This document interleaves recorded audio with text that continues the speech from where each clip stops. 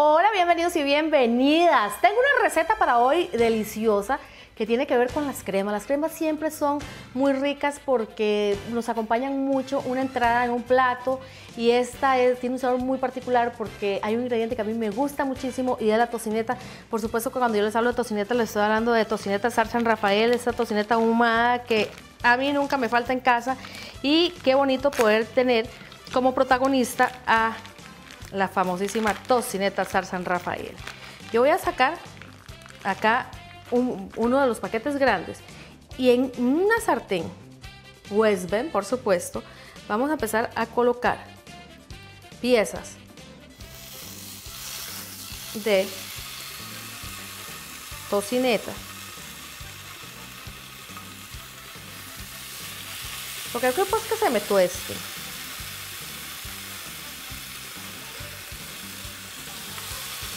Aquí hay dos, no hay ningún problema porque ella al final pues se va a tostar y de todos modos en algún momento hasta lo voy a procesar.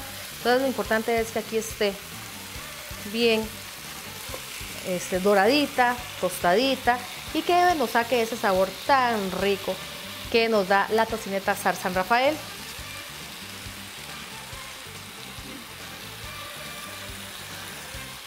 para cualquier entrada ustedes la van a disfrutar muchísimo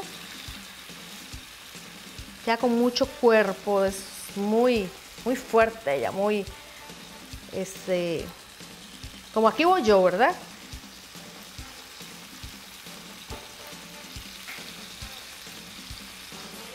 Bueno, aquí ya tenemos la sartén cubierta prácticamente, vean qué bonita que se ve.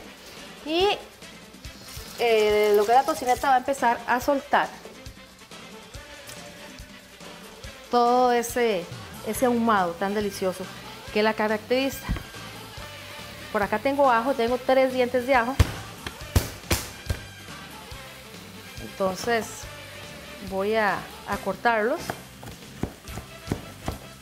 No tienen que ser muy finitos porque les decía que esto va a procesarse, pero sí quiero que se me distribuyan por toda la tocineta. Entonces, pues ustedes ahí le encontrarán el tamaño.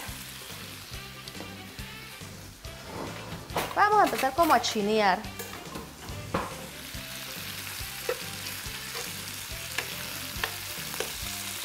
Cocineta, ya el, aroma que ella tira, ¿verdad? Suelta de ese ahumado y el olor a tocino, que es muy rico, junto con el ajo es increíble. ¿ah?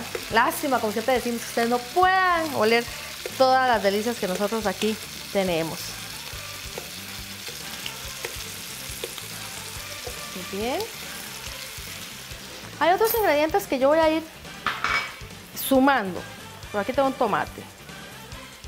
Voy a sumar un poco de tomate para que me le dé un poquito de ácido a, la crema. Entonces por aquí voy a colocar unas piezas, no mucho porque no quiero que compita, pero sí que nos dé ese, ese sabor tan delicioso. Vean que vamos a trabajar solamente con, la grasa que tiene la tocineta, ahí como ustedes la ven, vean cómo está soltando su grasita. Estamos poniendo un poquito de tomate solamente y por acá tengo un poquito de apio, el tallo del apio, lo grueso del apio. Voy a picar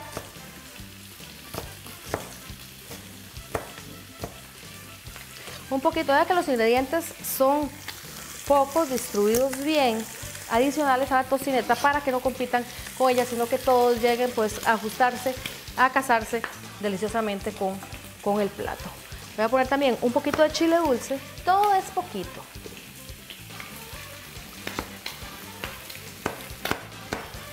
Ya la tocineta empieza a brincar, ¿verdad? Porque ya se está tostando.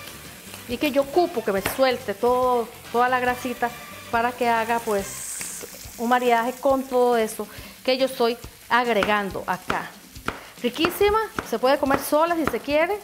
Yo ahora quisiera poner algo para, para acompañarla. Algunas tortillitas, crotones pueden ser. Ahora vamos a ver nosotros.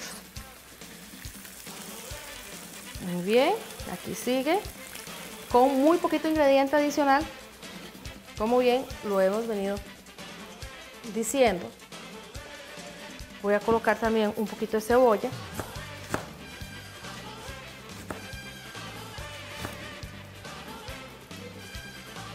Bien.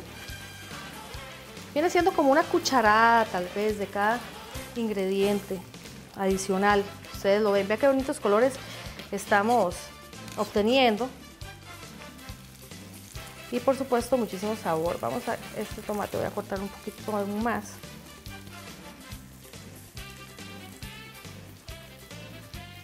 Para que se me distribuya bien.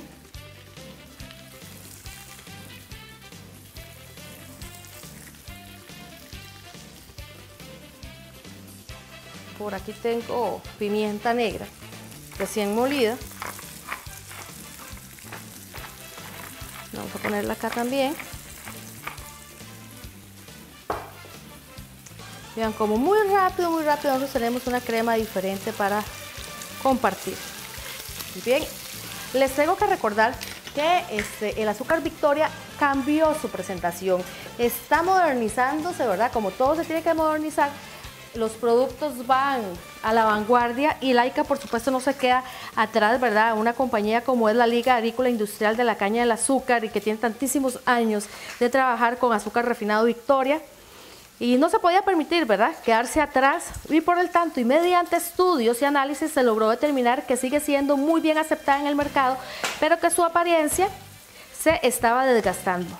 Entonces están haciendo pues toda este, una logística en pro de este producto tan excelente que tenemos tantos años de conocer en el mercado y yo le invito para que usted busque su nueva presentación y se deje enamorar de la deliciosa azúcar Victoria, no se la pierda. Bueno, vamos a ver, yo iba a tratar aquí de darle vuelta un poco a la tocineta, aunque tampoco debe ser como perfecto porque ellos, o sea, están recibiendo el calor constante y como la tocineta de ahí por, su grado de grasa eh, es muy, muy rápida, ¿verdad? Para, para, para agarrar ese calor y empezar a soltar sus, sus grasas propias y que sean con estas mismas que nosotros vayamos a cristalizar estos poquitos ingredientes que ustedes vieron pusimos acá. Mientras ella más todo este más nos va a soltar eso que andamos nosotros buscando. Bueno, yo creo que ustedes siempre buscan también buenos productos, buscan buenos consejos y quién más que nuestros patrocinadores para compartir estos mensajes tan importantes. No se me mueva de ahí porque buen sabor con esta deliciosa crema de tocineta Sar San Rafael ya regresa.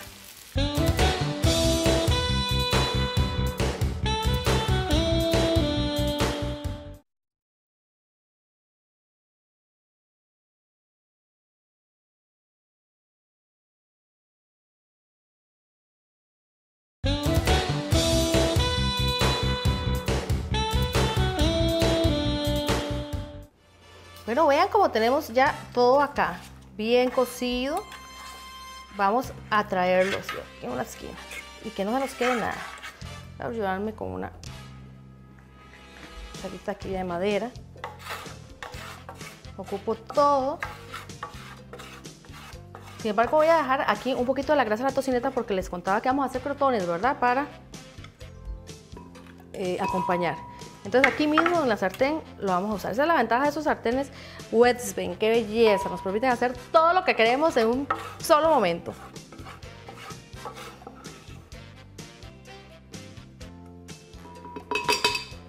Ahí está la tocineta con el poquito de ingredientes que definitivamente van a, ayudar al sabor de esta deliciosa crema de tocineta San Rafael.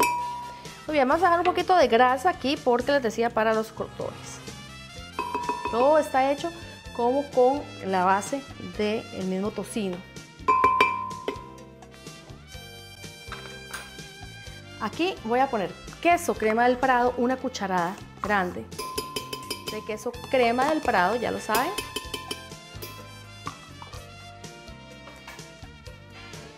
Voy a colocar además una taza de leche corriente, una taza de leche evaporada y una taza de caldo. Puede ser caldo de verduras, puede ser caldo de pollo. Ustedes este, verán. Vamos a poner salsa inglesa, una cucharadita de salsa inglesa banquete. Rico. Vamos a colocar sal. Por aquí tengo un pedazo de queso parmesano. Voy a rallar un poquito, muy poquito. El queso parmesano tiene un sabor muy preponderante, muy rico. Y así bien, aunque eso se va, se va a licuar. No más o menos que como una cucharadita tal vez de queso parmesano.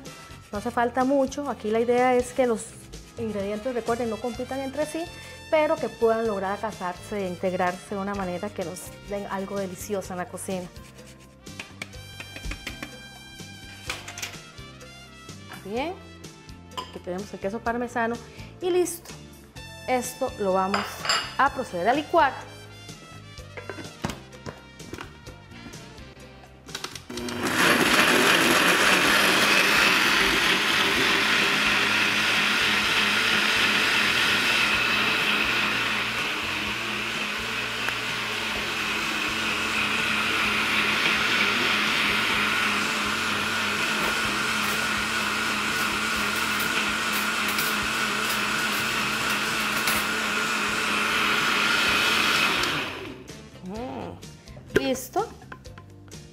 Probar esta delicia.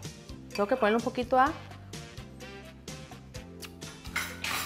Deliciosa, deliciosa. Yo tengo que ponerla un poquito en una olla para que se caliente y faltan los crotones, ¿se acuerdan? Váyase rapidito, rapidito a esos mensajes. Yo ya regreso para que vean ustedes cómo termina esta deliciosa aventura de hoy.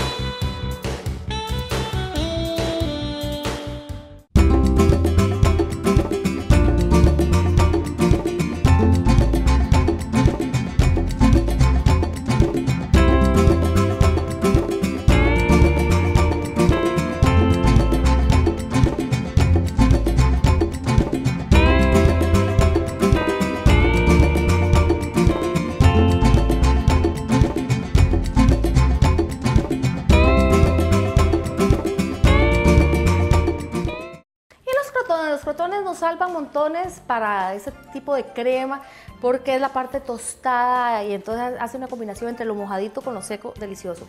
Para ensalada súper usado también, acompaña excelente porque tenemos la parte del carbohidrato dentro de la ensalada. Entonces puede ser cuando vamos a comer solamente una ensalada como plato fuerte, sobre todo si estamos así como haciendo algunas dietillas, queda perfecto. Este, yo voy a cortar, aquí tengo pan cuadrado,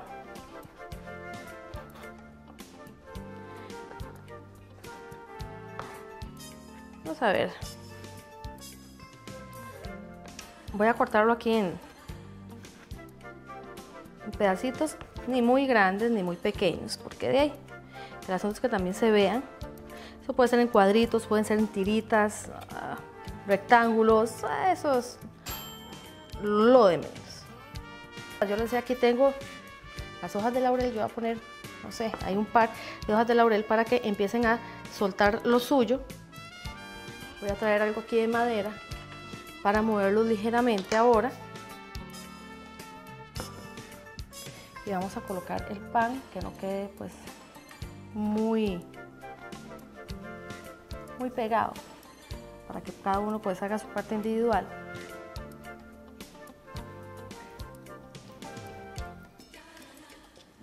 a ver cuánto pongo.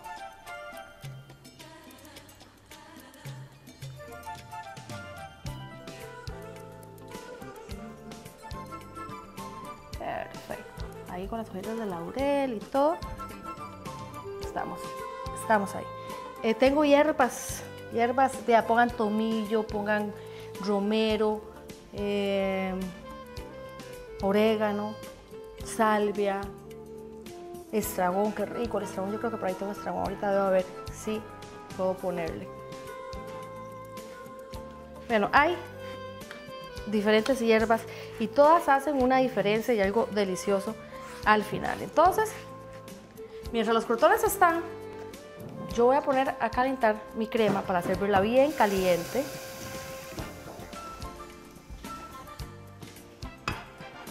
Voy a colocar un poquito de agua para no desperdiciar nada, nada, nada, nada. Y vamos a dejar hervir. Dejamos hervir, vamos a estar moviendo ahí constantemente. De momento que hierva, yo ya la voy a servir caliente con los crutones. Así que esta receta, como ustedes vieron, también es bastante rápida, cosa que me agrada mucho. Vamos a dejar que este pan se dore. Vean como las hojas de laurel, ahí suelta un sabor tan bonito, tan rico, tan especial. A mí me encanta, por ejemplo, los frijoles. Cuando yo pongo frijoles, me fascina ponerlos a, a que se hagan con hojas de laurel. Ustedes sabían que las hojas de laurel son muy, muy, muy aromáticas y súper usadas en la cocina mediterránea, muy, muy usadas. Y nosotros hemos venido a agarrar también ese patín tan bonito. Yo creo que las cosas que sean, que sean ricas hay que copiarlas, ¿verdad? Y definitivamente el laurel pues es una idea con la que yo me caso muy bien. Vean que el pan está absorbiendo la grasa que haya viajado ahí la tocineta, entonces ese tostadito va a ser genial. creo que yo ya voy trayendo una tacita, una para servir la crema. Vamos a ver qué me encuentro por acá. Voy a hacer una de estas.